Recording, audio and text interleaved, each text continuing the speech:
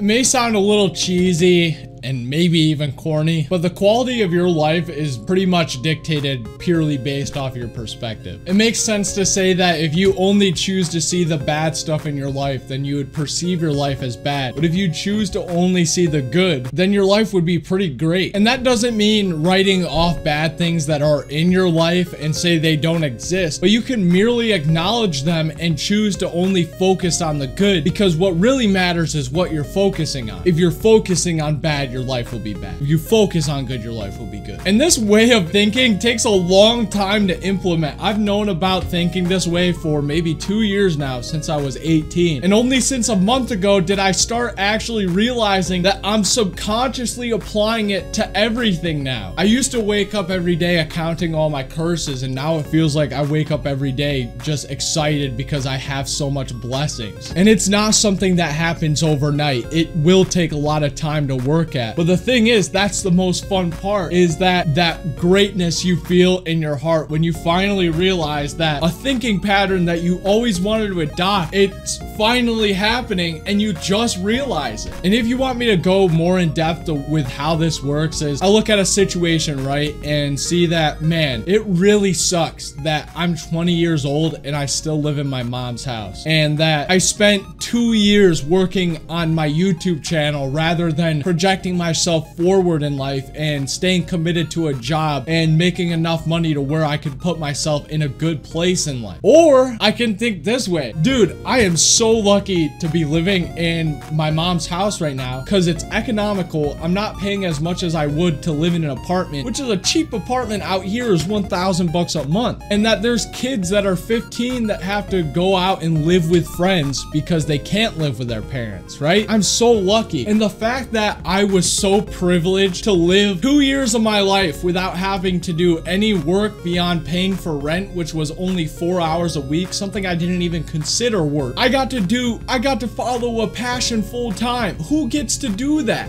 I am freaking lucky as heck. This took a long way to focus mainly on the good of a situation because for a long time, what it would be was while working on this mindset, I would always think, okay, well, this, I would be all down and thinking, oh man, this situation sucks, bro. And then I'll look at the positive side. I well, yeah, well, there's this good thing. And then I would always end the sentence with but. I would say, but the situation still sucks. That's a clear indicator that I was so focused on the negative. When you can go and eventually you want to get to the point where you just leave it off on the good part. A bad negative thought comes to your brain and then you're like, shoot out of here. I got this good stuff.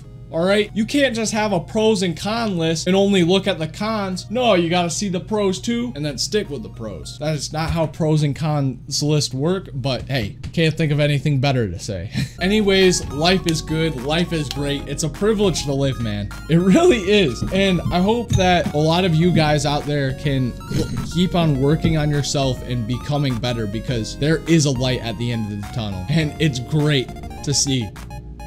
Thank you for watching.